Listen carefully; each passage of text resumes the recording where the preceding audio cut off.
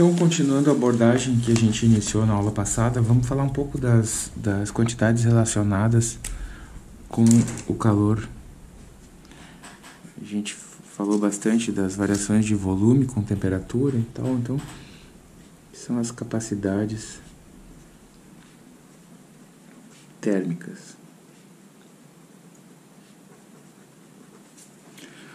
Uma quantidade muito importante é, para qualquer substância é saber como muda a temperatura dessa substância na medida que eu transfiro calor para ela.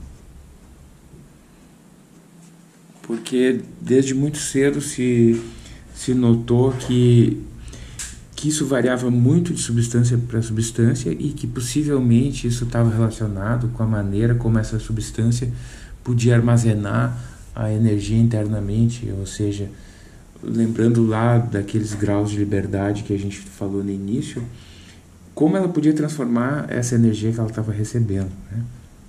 Então, é, se usa um C maiúsculo, é óbvio que quanto maior o sistema, maior vai ser a quantidade de calor que ele consegue absorver sem mudar a temperatura. Então, em geral, também se define uma capacidade térmica por mol ou por massa que é chamado aqui então calor específico.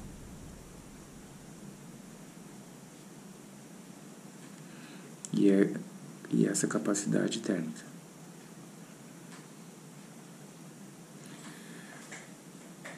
Então, bom, a gente, para fazer isso um pouco mais preciso, né, seria importante a gente tomar o limite, né,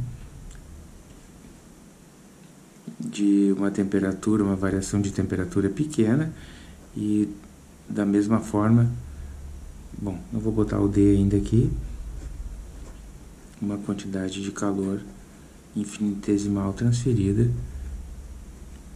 Então a gente teria algo desse tipo. Né? Então a definição melhor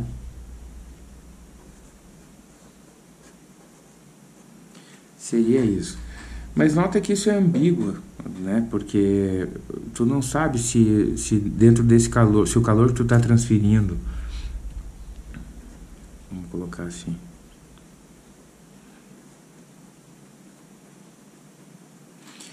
o calor que tu está transferindo, ele está sendo usado só para mudar a energia interna do sistema ou ele, o sistema também está realizando o trabalho na medida que tu realiza calor?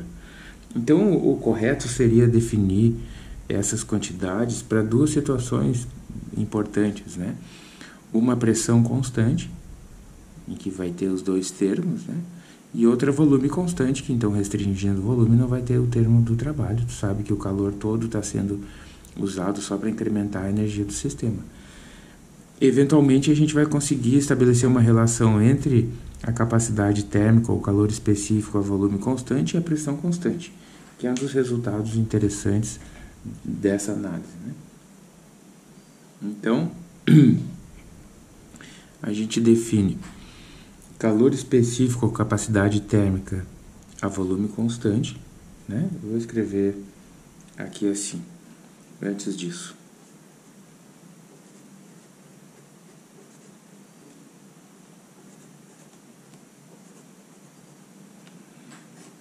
Nota que eu estou misturando um pouco a notação do, do, da diferencial inexata com colocar o trabalho o calor sem diferencial e tal, né? Eu falei isso lá na, na segunda ou terceira aula, né? É só porque eu acho que em alguns contextos precisa ficar muito claro que é uma variação infinitesimal, né? Então eu estou usando a diferencial inexata que significa porque isso aqui o trabalho já é uma variação lembram? Então falar variação da variação não tem muito sentido né? E também porque isso não é uma variável de estado. Então a ideia da, da do diferencial aqui não é muito não é muito exata né? Mas é só para indicar que isso é uma quantidade infinitesimal certo? É, então é, Bom, daí dependendo do, da situação que a gente está, um termo ou outro pode, pode se cancelar. Né?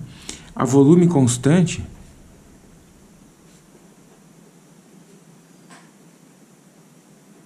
o termo do trabalho se anula, né? porque o trabalho está associado à modificação mecânica do tamanho do sistema. Então, eu vou ter du dt AV.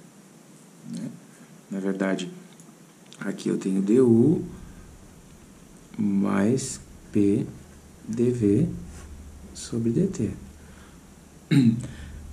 Na situação em que o dv é zero, esse termo some, eu fico só com esse termo. A pressão constante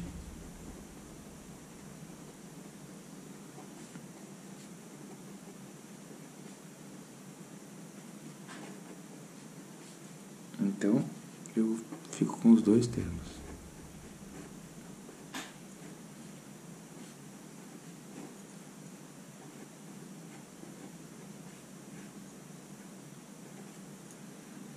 certo? Então agora eu tenho os dois termos. Bom, então a gente tinha definido essas duas quantidades.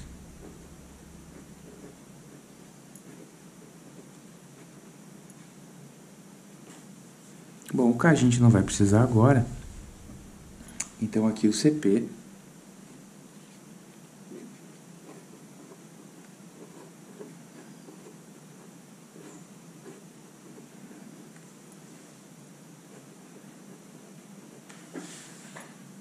né, em termos do que a gente tinha definido antes.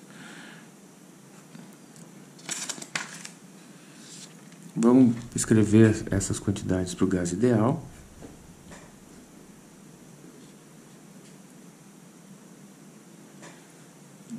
gente tem assim dq igual du mais pdv. No gás ideal, a energia interna depende simplesmente da temperatura. Então eu poderia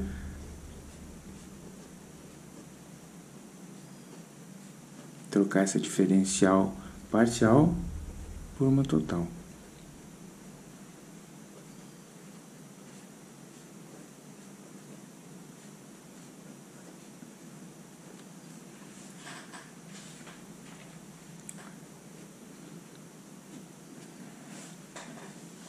Aqui eu já tenho uma, uma expressão né, para saber qual o calor transferido para o sistema frente a uma mudança de temperatura e de volume. Bom,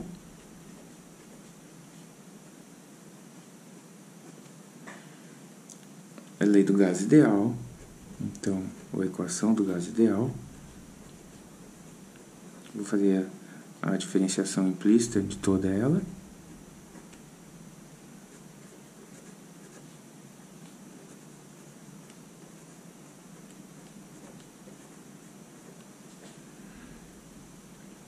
Então, substituindo essa equação. 2 em 1, um, eu tenho.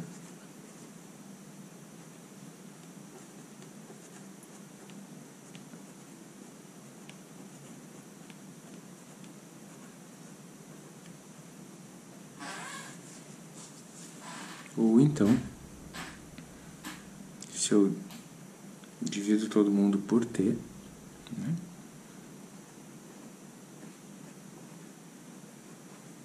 A pressão constante, né? Então, diferenciando com relação a T, a P constante,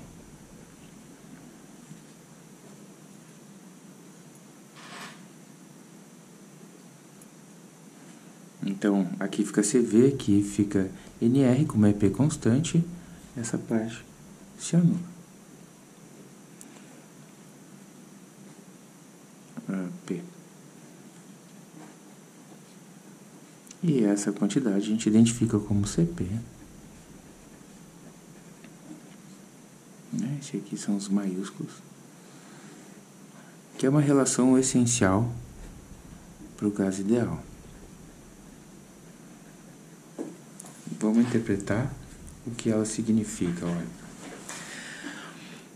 O CV está me dizendo, aqui eu poderia, se eu escrevesse essas quantidades molares, né, uh, aqui no início eu defini, é que a, a notação é um pouco ambígua, né, mas eu acho que vai ficar claro do contexto.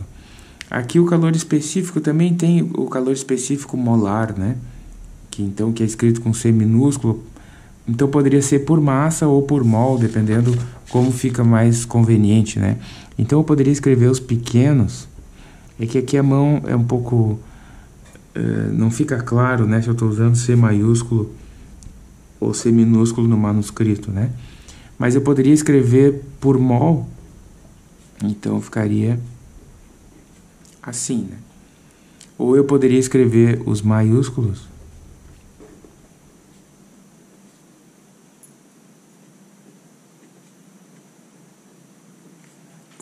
com relação ao número de moléculas e não ao número de modos, né? E, enfim, poderia escrever de várias maneiras, mas o que interessa não é isso. O que interessa é o seguinte: aqui está me dizendo que o CP é sempre maior que o CV, ou seja, a quantidade, a reação, tanto um quanto o outro, está é, tá me dizendo isso. A X constante, tá? Qual é a reação do sistema frente a uma transferência de calor para ele. Então, quando eu transfiro calor para o sistema a volume constante, tudo que ele pode fazer com o calor, então a volume constante, ou seja, trabalho é zero. Tudo que ele pode fazer com o calor é transformar em energia interna, porque o termo do trabalho é zero. Se eu transfiro a pressão constante, ele pode tanto transformar em energia interna quanto realizar trabalho. Ou seja, como a pressão é constante, eu posso transferir calor para o sistema e ele expandir. Então, ele consegue absorver mais calor a pressão constante do que a, a volume constante pensando que nas duas situações ele está sofrendo a mesma mudança de temperatura. Porque a pressão constante ele pode fazer duas coisas com o calor: aumentar a energia interna ou realizar trabalho sobre a vizinhança. Já a volume constante ele não tem essa opção, ele só pode aumentar a energia interna. Tá? Bom, outra questão, por que, que essas quantidades são tão importantes? Né? É porque, em primeiro lugar, porque elas eram acessíveis experimentalmente desde os primórdios da termodinâmica. Além disso, ela está dizendo qual é a organização interna do sistema, das moléculas que compõem esse sistema, porque isso está dizendo o que que o calor, no que que o calor está se transformando. E daí, claro, essas ideias demoraram um pouco para evoluir, muito mais para serem verificadas experimentalmente, né? Mas se o sistema tem, é composto de moléculas monatômicas, tudo que ele pode fazer com o calor que ele recebe é transformar em translação. E daí o calor específico, a capacidade térmica desse sistema é relativamente baixo, porque tudo que é transferido como calor, vou tentar desenhar esquematicamente para a gente fixar as ideias, tá? Se o sistema é muito simples, moléculas monatômicas, todo o calor que eu transfiro para ele vai ser transformado em translação, velocidade de translação, que eu vou medir como um aumento na temperatura. Então, o calor específico desse sistema é relativamente pequeno, em comparação com o próximo que eu vou falar, né? Se o sistema tem, é composto de moléculas mais complexas,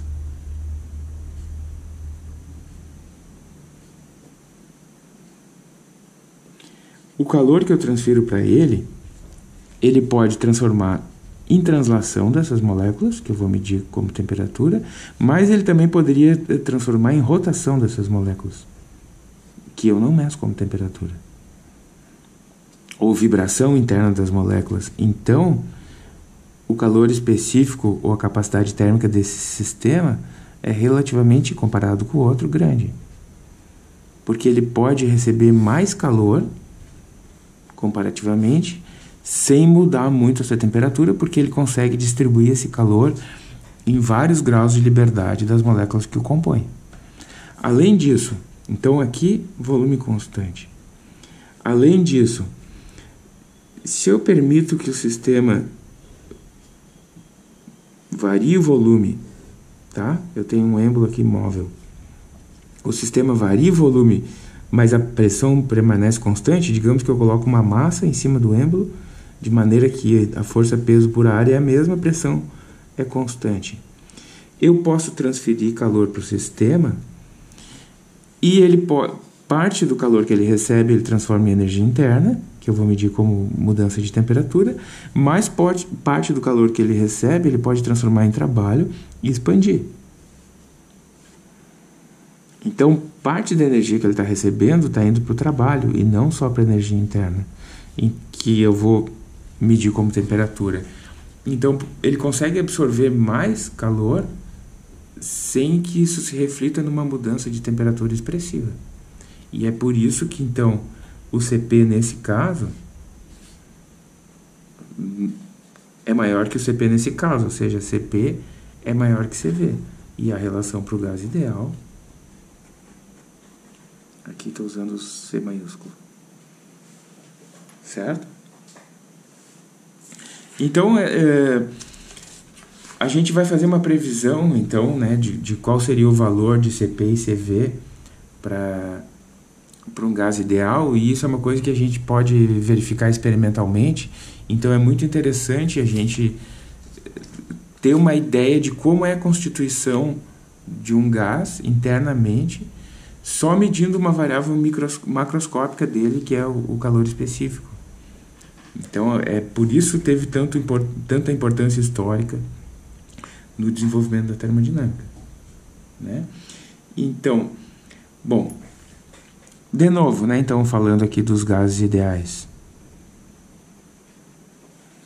A gente bom, monatômicos, né?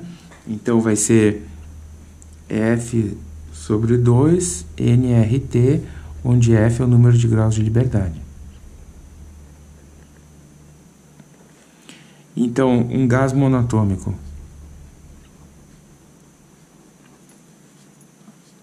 U é igual a 3 meios de NRT. Por exemplo, hélio, neônio, uh, argônio, gás de sódio, mercúrio e assim por diante. Então, o CV, né, derivada de U com relação a T, a volume constantes, 3 meios de NR. CP, 3 meios de NR mais NR, 5 meios de. E o gama, que é a relação entre esses dois, vai ser 5 terços.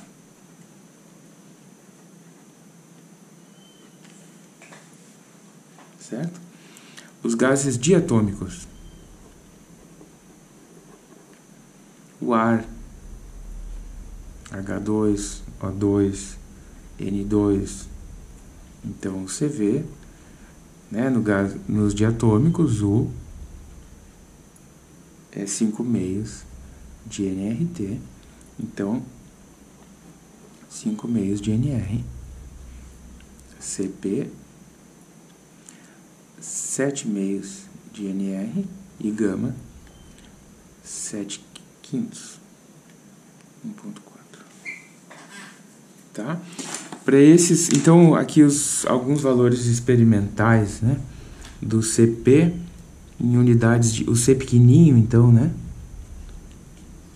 em unidades de R porque daí vai dar só esse fator aqui da frente né dividido por N dividido por R então, por exemplo, o H2 3.495. Tá? O O2 3.068. o Cl2 3.813, o CO 3.192, que deveria ser então para um gás ideal 3.5, né? Então aqui a gente consegue ter uma ideia de se naquele gás existem muitos fenômenos secundários que façam com que ele se comporte diferente de um gás ideal. Os mais próximos aqui, então, o H2 e o Cl2. Né? O H2 está bem próximo do que a gente esperaria para um gás ideal. Então, possivelmente, o comportamento do H2 é justamente aquele que a gente espera para um gás ideal, quer dizer, moléculas é, muito pequenas, a alta velocidade, uma distância grande entre elas, colidindo elasticamente é, numa fração de tempo muito pequena com relação em comparação com o tempo que elas passam viajando de um ponto ao outro. Então, é muito interessante isso, né? Como essa variável macroscópica, relativamente fácil de ser medida num calorímetro, nos dá acesso a como deve ser a organização interna de, das moléculas dentro de um gás, dentro de um sistema qualquer. Bom. Então, continuando. Vamos falar, vamos voltar então aos processos adiabáticos.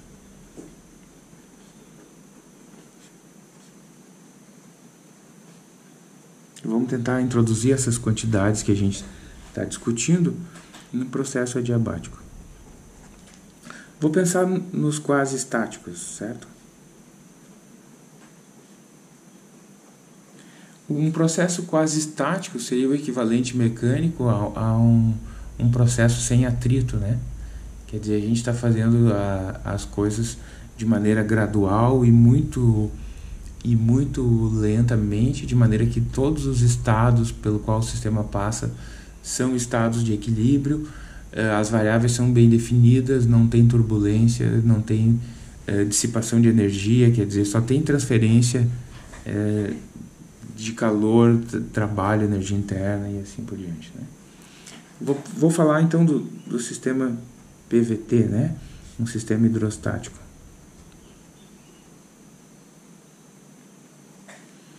E a gente tem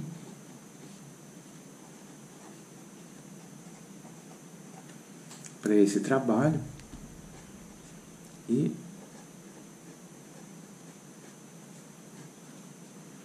Ou seja, a gente pode transformar numa diferencial exata, como a gente acabou de fazer, certo?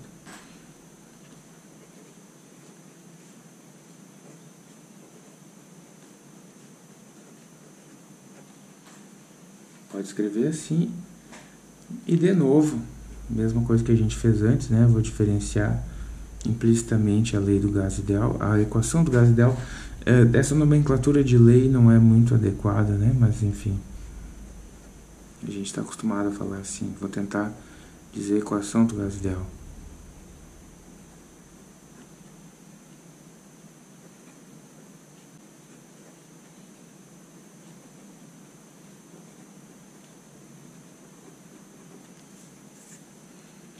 Então,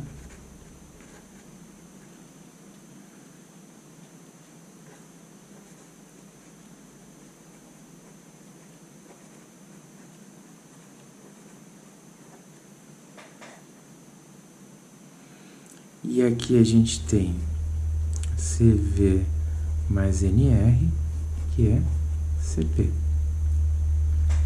Então,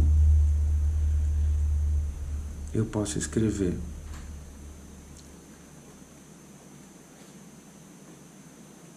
usando a 1 e a 2, né? Eu posso escrever DQ é igual CP DT menos VDP que saiu da 2. E, da, e eu já tinha da 1. Um.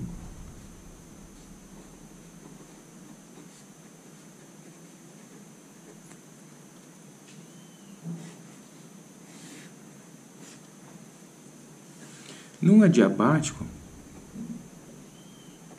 então aqui eu tenho as transferências de calor relacionadas às mudanças de temperatura e pressão ou temperatura e volume.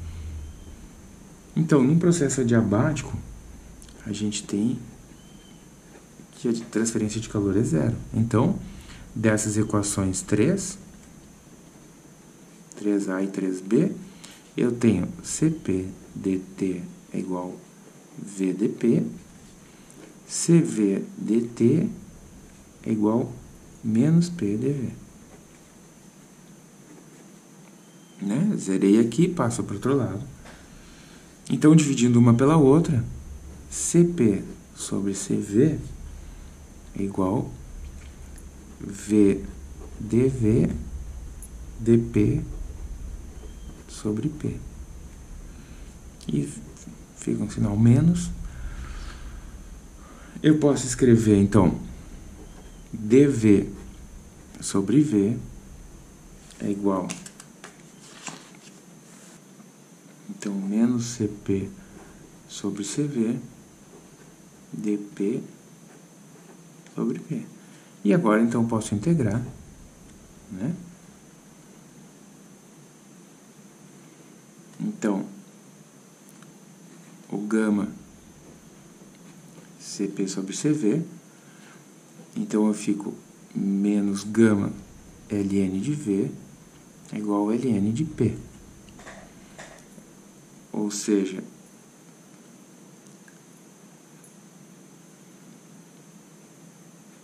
V na gama é igual P, ou P, V na gama é igual a constante.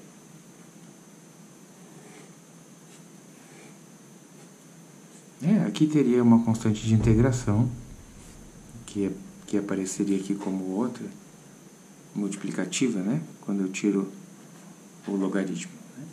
Então a gente chega à equação que a gente já tinha deduzido há uma ou duas aulas atrás, por outros métodos, né?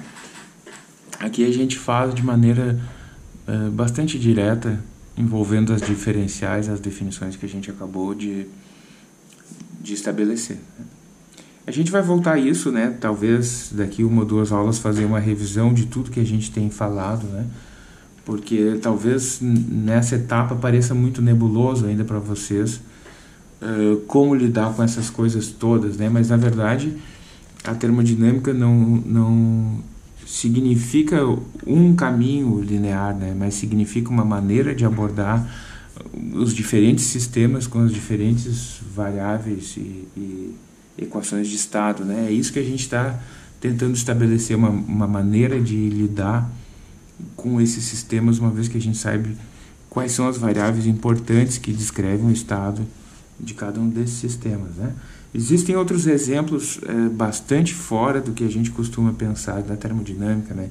principalmente o livro do Zemansky fala de muitos sistemas, né? de sistemas magnéticos, sistemas elétricos e assim por diante. Né? É bastante interessante.